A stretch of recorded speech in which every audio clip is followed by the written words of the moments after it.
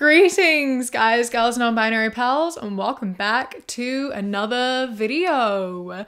As so many of my videos start, the other day I was scrolling on Twitter because that is where I live. Um, and I came across someone who had quote retweeted a post from this account called The Feminist Turned Housewife. And obviously, I saw this and was like, this came to me on my timeline for a reason, and that reason is to sit down and make a video about it. So, today, we are going to be having a look at this Twitter account called The Feminist Turned Housewife, because this is supposedly the wife of another Twitter user that I made a video about recently, which was The Art of Creation. And I say supposedly because like I would not be surprised like at all if this was just run by the same person just pretending to be his wife. Like the the bio reads former atheist feminist saved by the grace of God, wife and mother of 3, all opinions are my husband's. And they have one subscription which is to her husband's account. And that's the funniest thing ever to me because post layouts are quite similar. Obviously, it's because these are all his opinions, but like, wouldn't be surprised if this whole account was his. The difference is that these are longer, like, more words are said in the posts, and it's just interesting. And so that's what we're doing today. We're having a look through this account at someone who's totally not the art of creation, but actually his wife, seeing what she has to say. But before we get into it, I would like to say a massive thank you to today's patron of the day, Kylie. I appreciate you and your support so much. Thank you so much for joining. I hope that you enjoy this video. And if anyone else would like to become a patron, you go to patreon.com slash savvycat or click the top link in the description. It starts at as little as one pound a month and I appreciate it greatly. Let's dive into this nightmare. This account tweets like multiple times a day by the way. They uh, are they just live on twitter more than i do and i didn't even think that was possible. The way these tweets are formatted is so funny to me because they are obviously a verified account because why wouldn't you pay elon musk $8 a month to be able to write long tweets? And so they tweet like a lot of text and then just use like an old painting of a woman as a photo because every tweet needs a photo obviously. And I find that really strange, but that's pretty much how all of these tweets go. Um, which, in my opinion, if a tweet is more than the 240 limit, it's not a tweet anymore. That's that's just not a tweet. But alas, here we are, long tweets. Let's go. Giving men commitment free sex is the worst idea anyone has ever come up with. Imagine thinking it's a win, that it's owning the patriarchy, to go and give degenerate men exactly what they want consequence free access to your body. We have all been fooled. I too was fooled by this nonsense. That it empowered me and liberated me to be able to engage in a sex like a man. Casual sex is soul crushing to any woman, and it's never worth it. There is always regret and emptiness after. It will never bring you the comfort and bonding you want and crave. This is the heavy price of the lies of sexual liberation. You pay with your body and you pay with your soul. I find it so interesting when and she says this in a lot of her tweets that are about purity um we're just going to focus in on be able to engage in sex like a man and casual sex is soul crushing to any woman. So implying that casual sex is something that is enjoyable for men and encouraged for men but something that women shouldn't do. So gay question mark? That's the only solution here. And these people are vocally pro traditional marriage and like anti queer so i don't really know what the solution here is. Men are allowed to be promiscuous and they're allowed to have casual sex. It's something that they enjoy they're not allowed to be gay though and women aren't allowed to have sex. So what who hmm. So what's the what's the solution here then I really would like to hear a solution that you have for this problem of men needing casual sex, but women not allowed to have casual sex, but also no gay. Also, love speaking on behalf of all women here.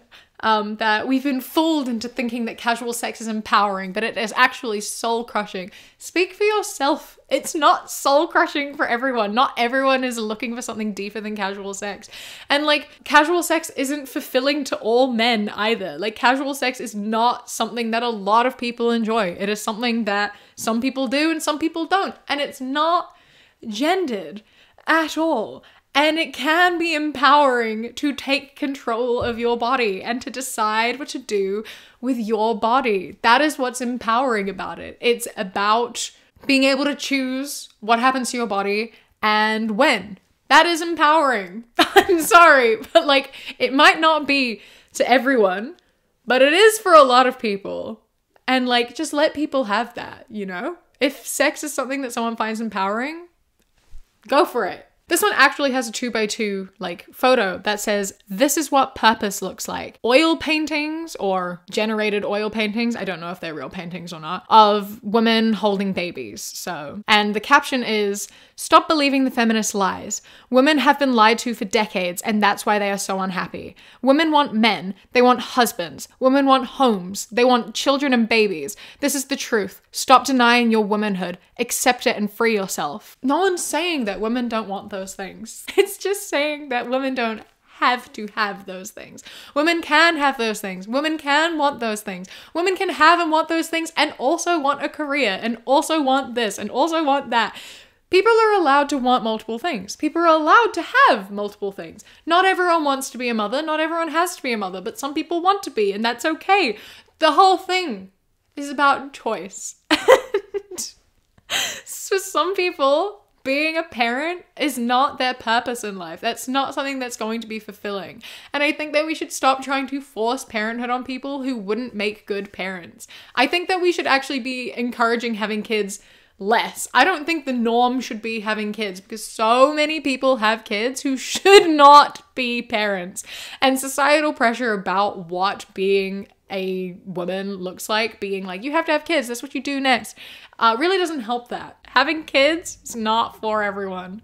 Please. Speaking of feminism being a choice, she's reading my mind about what I'm about to say. Feminism isn't about choice. If a woman truly is a feminist, she cannot be a housewife and she cannot endorse or support other women to be housewives either. It is logically contradictory. Here's why. First, under feminist framing, women being at home makes men more sexist because they see women as nothing more than moms. Men with stay at home wives are more sexist than ones with working wives. I mean, those are your words, not mine.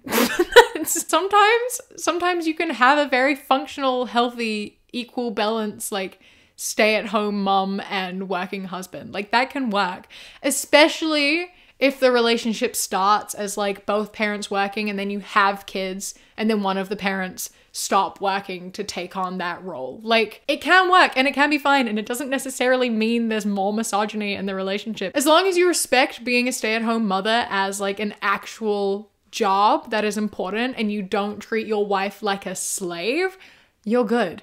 You're fine. Second, since feminism champions women's independence, there is nothing that is more not independent than a woman who depends on her husband. This is not acceptable. There is nothing that is more not independent. I feel like more not independent, like I get what they're trying to say, but I feel like there is nothing less independent would have been the correct way to put that. But anyway, that aside. So women can't be house Feminists can't be housewives because they're not allowed to be dependent on their husbands. You're allowed to be a one income household. You're allowed to be a stay at home mom if that's what you like.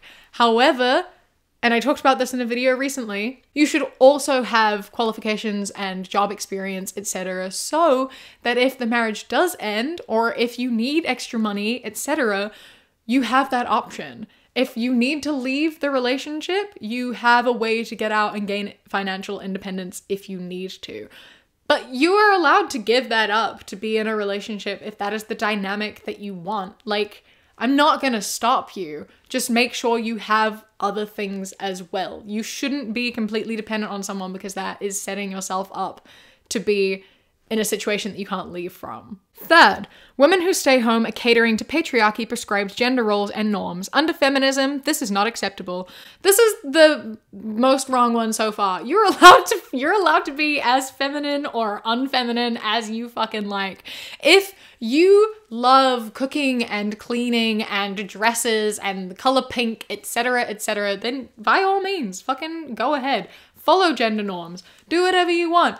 As long as you're also like getting help from your partner if you need it. It's about respect. That's the thing. That's where the line is. Is that like being a housewife, stay at home mom, whatever the term is, is fine as long as your partner respects you and treats you like a person and not as an object or like a slave or a servant, you know? That's where the problem comes in. Fourth, Women who decide not to join the workforce stand in the way of gender equality and make things harder for all women as a whole. The more women drop from the workforce, the more employers see women as a risky investment, and the fewer women in the workplace, the more male dominated it becomes. Under feminism, this is unacceptable as both situations make women unequal. You just said a lot of words there that I don't think I've ever heard anyone actually say.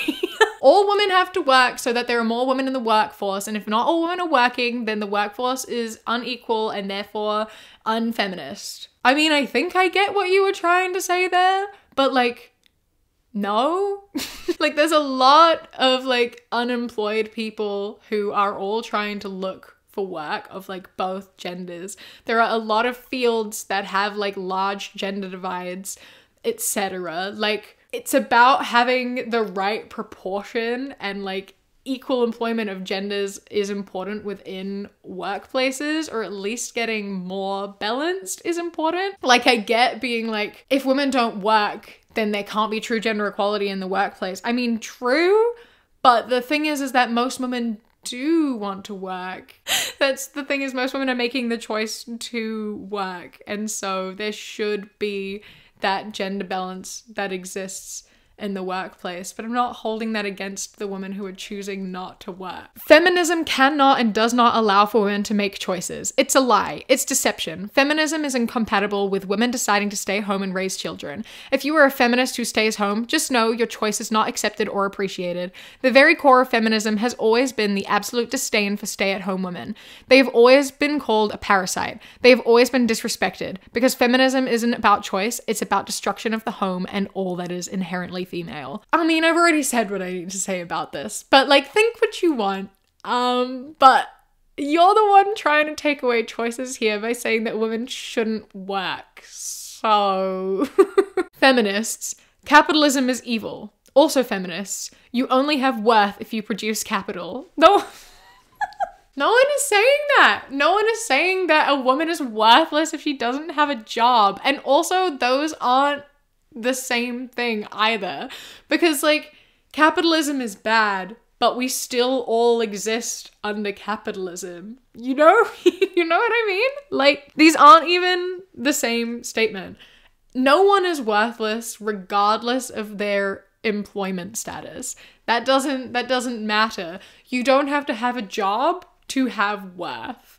That is a problem with capitalism is that we are all told that our worth is dependent on how much money we produce and how much we fuel the economy and how hard we work, etc., etc. We're not saying that. Um, we're saying that it's cool if you are able to have a high paying job, high up job, etc., because that is rare. It doesn't change your worth, it's just fucking cool to see because a lot of women work really hard and aren't rewarded for it. So it's great to see when women are rewarded for it. Everyone, regardless of gender, is worth more than any job because jobs don't define you. How much money you make does not define you, unless you're a billionaire, and then it does define you, and it defines you as on the dinner menu. The only real choice feminism put on the table was the choice to be a whore and not be shamed. I never was shamed when I engaged in premarital sex, and neither were my friends. Only those who waited and had higher moral standards regarding sexual intimacy were shamed. I mean, good for you if you were never shamed. Like, that's what this is so ironic though, because you're like, we were never shamed for having sex. Uh, but you are on the internet right now shaming everyone for having premarital sex. I'm glad you were in an environment where you weren't shamed for that. I'm sorry that your friends or the people around you who are saving sex for marriage were getting shamed. I don't think that deserves shame. I understand people asking questions about it. Like, personally, it's not something I entirely understand, but that's just because I also don't really see the value of marriage itself. I think that like a long-term relationship is just as meaningful and you shouldn't get married just to have sex. Like save sex until you're with someone whom you feel comfortable with and love and want to be with for a long time. Sure, fine. Go off. Good for you. I respect that. But like yeah, no one should be shamed for any choice that they're making. And to say that people don't get slut shamed while you're actively slut shaming is absolutely fucking hilarious. I see people slut shamed every fucking day. So you're living in a bubble. you are absolutely living in a bubble. If men are so dangerous, why do feminists promote drinking, going out, partying, and casual sex with them? How does it add that men can't be trusted, but also you should be sexually promiscuous with them? How can they say they care for the safety of women when they say it's perfectly fine to put yourself in the most vulnerable of positions with a man you don't know that has no commitment towards you? If feminists cared about you, they would tell you to wait to have sex, to not put yourself in dangerous situations, to be aware and able to discern moral men from immoral men, not tell you all men are bad, but also continue to promote risky behavior. Feminism is evil and it doesn't care about you. Here we go back to the choice thing again. Feminism. Feminism is not encouraging women to go out drinking and partying and having casual sex. Feminism is about doing what you want and just enjoying your life.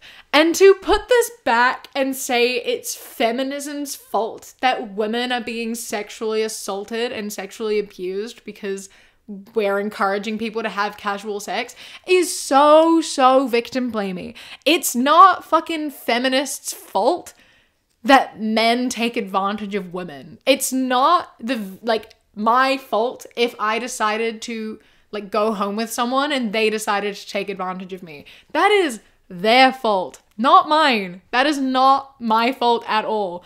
They shouldn't do that. if I'm out drinking and someone harasses me or touches me inappropriately, etc., that's their fault. It has nothing to do with me. Trying to pin that on me and be like, well, maybe you should take more precautions. Maybe he shouldn't fucking touch me. That's not on me. That's not on feminism. That's on men. And part of feminism is trying to prevent that from happening by educating men about consent, by getting more strict with like laws by trying to make places more safe. That that's what it's about. It's about providing women with choices and making places more safe. And no one is encouraging people to go out and get drunk and hook up. That's just something that you can do. But everyone is encouraged to be safe. Yeah? I'm I'm going to promote safety first. We have so many rules in place of like if you're going on a first date, meet somewhere public and if you're going home with someone, text a friend an address, send them your location. Tell the person you're going home with that you've sent your friend where you're going. Be like, what's your address? I'm going to send it to my friend. Make sure they know that you're with someone. Make sure that they know that someone knows where you are. like, there's a bunch of safety precautions to take. If you're gonna like go home with someone and have a one night stand and you are a woman, take them to your place instead of going to theirs, especially if you have like roommates. That's even better. Like, you know, there are precautions to take. There are safety measures in place. There are lots of things you can do to keep yourself as safe as possible. No one is encouraging going out and making dangerous decisions. And we certainly are not trying to blame women for getting assaulted or getting hurt because it's not women's fault. We should be allowed and able to go out and enjoy ourselves without being afraid of being hurt because that's not our fault. It is never the victim's fault. I miss when live concerts used to be tasteful and performance was an art. Now I can't even tell if I'm looking at a strip show or a concert. What concerts are you going to? I'm so baffled. Like, everyone does concerts. And most concerts aren't strip shows. Like, what concerts are you going to? I went to a concert last night. I went to the Raye concert, which was fucking phenomenal. Holy shit. I'm like, I lost my mind. I sobbed my heart out. And that was her on a stage with a full symphony orchestra in like a long black dress, just fucking singing her heart out. And it was phenomenal. It was beautiful. It was fucking fantastic. She, I only discovered her a few weeks ago, and she's like one of my favorite artists of all time with like some of my favorite songs ever. Anyway, that's an example of a concert I went to recently. And then all the other concerts I've gone to recently have also been not really provocative at all. It's been just a bunch of K pop concerts and things. And that's just like people like dancing and singing. And I'm just so confused as to how you're looking at every single concert and being like, all they're doing is stripping and like being provocative. And I can't even tell if I'm watching a performance. What happened to like performance and art? Maybe listen to different artists. Like, what artists are you listening to? What concerts are you going to? Go to concerts with artists that you enjoy. Like if you don't want to see people like twerking and like wearing minimal clothing, like don't go to a fucking Cardi B concert.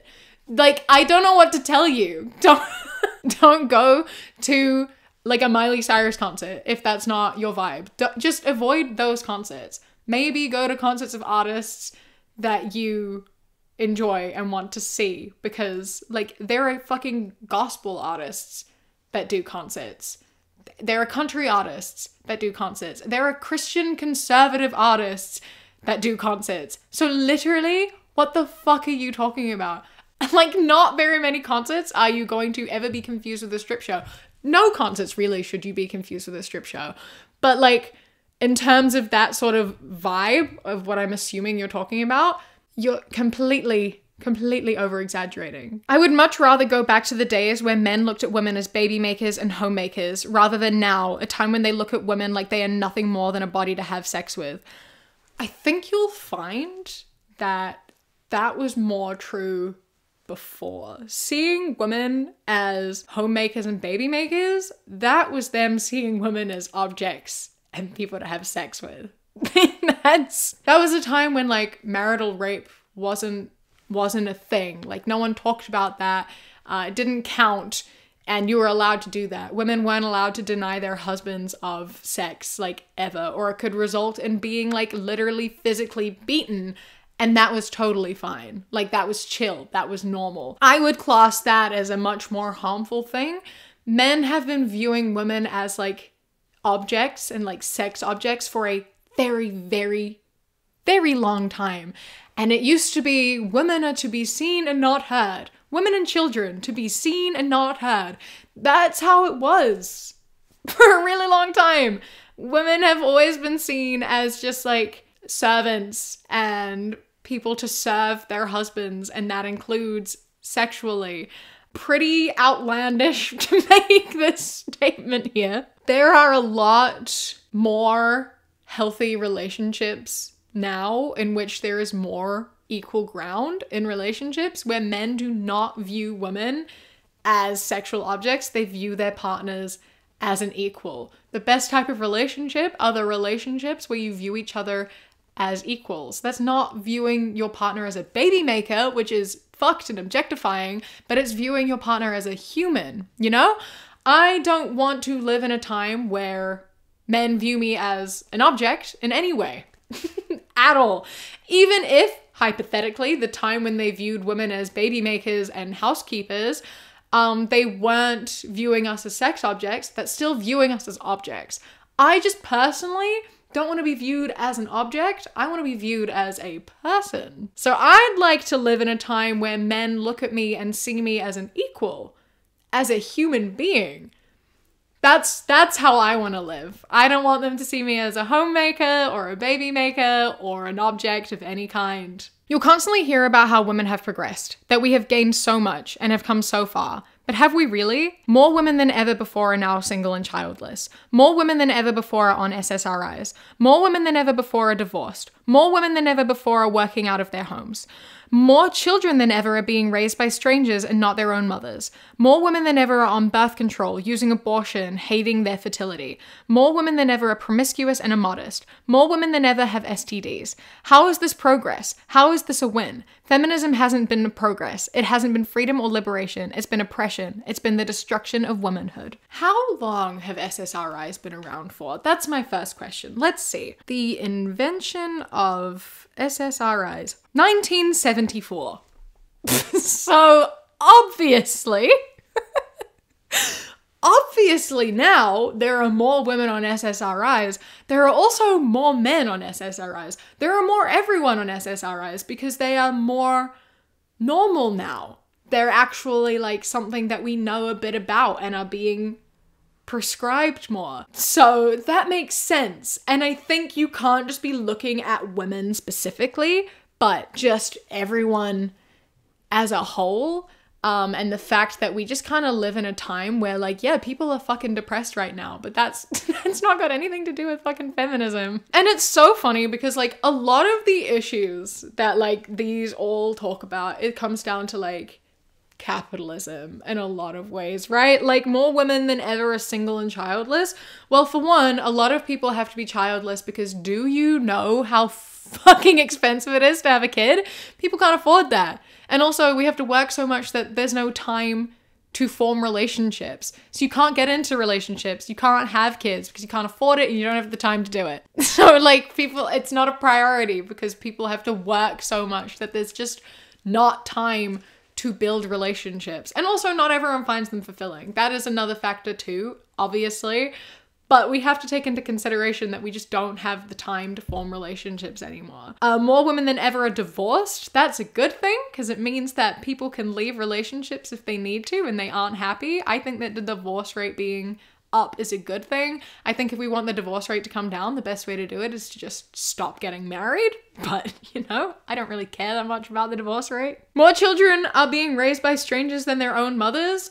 Um, again, capitalism, you know, a lot of women would love to be able to spend more time with their kids. A lot of men would love to be able to spend more time with their kids. Parents in general should be able to spend more time with their kids. But unfortunately, that's not something that is given. It's wild to me seeing like TikToks of parents in the States like having to take their like literal like infant babies to daycare after like 10 weeks so that they can go to work. Like that's so sad and astounding to me. I didn't realize that that was a thing you had to do. Like the fact that there's no paid time off and like the US is very Christian too. It's like 60% of the country is Christian and it's like a very conservative country in a lot of ways. Like all of your fucking political candidates are conservatives. Like there's not really any wiggle room at all. But it's so capitalistic that like even though so much of the country is like you have to have a traditional family, you have to get married, you have to have kids. They're also not willing to let you actually raise your kids or spend time with them. I think that paid parental leave is incredibly important, and I think that all parents should get it regardless of what gender they are. And again, that's a capitalism problem not a feminist problem. More women than ever on birth control using abortion hating their fertility. I think that using birth control and having abortion, right? In order to have less abortions, more people have to use birth control. I don't understand people's problem with birth control. I really, really don't get it. You don't want the abortion rate to be high, but you also don't want people to prevent pregnancies. And you also supposedly care about children, but you're encouraging everyone to have children even if they can't afford to and can't give them a good life. Like, make it make sense. Birth control is good. More people should be on birth control. That's just that's that is actually a positive thing. And more women than ever have STDs. We need better sex education. That's really the answer to that one. We need better, more comprehensive sex education in schools because a lot of schools don't have good comprehensive sex education. So give that and then that will solve that problem. There we go. I, I answered all of these, I think. Okay, I'm gonna do one last one. You do not need a fancy job, a career, an education, fancy goals, and non ending list of achievements, besides just being a mother and wife. If that is all you wish to do and accomplish, those are wonderful, selfless, most important things. You absolutely should have qualifications and job, experience, and a support network at any given point. You should not be going into a relationship and getting married if you don't have any way to provide for yourself should the marriage end, because that is going to leave you in a potentially very bad situation. I know it's like you want to be hopeful and you don't want to think about the fact that the marriage could end, but you have to be practical. You have to prepare for every situation, and that includes being prepared for the marriage to end. And that means you have to know how to be independent. If you do want to just be a mother and a wife, fine, but make sure you have a backup as well. Anyway, I think I'm gonna end this video here. I think I said the same thing a bunch of times, so I apologize about that. Um, but also, I'm not meant to be apologizing, so I take it back. I don't apologize. I hope you enjoyed regardless. I hope that you did enjoy this video. Um, don't forget to leave a like, comment, and subscribe. A massive thank you to my Sprout and Above patrons whose names are up on the screen right now. I appreciate you greatly. And a huge, huge thank you to my Kiwi Cat patrons Bobby, Josh, Mandy, Ikazel, Jessica, Eldo, Danielle, Raven, Elias, Chris, Samuel, and Knitting Menace. I love and appreciate you so, so much. Thank you so much for joining. If anyone else would like to be on Patreon, you go to patreon.com slash savvycat, click the top link in the description. For as little as one pound a month, you get my videos a day early, as well as podcasts a week early. And then for three pounds and up, you get things such as outtakes, bonus mini podcasts, live streams, vlogs, and more. Don't forget to follow me on Instagram, the Queer Kiwi, and Twitter, that Queer Kiwi. I hope that you enjoy the rest of your day. Stay safe. Keep fighting. I love you. Wow.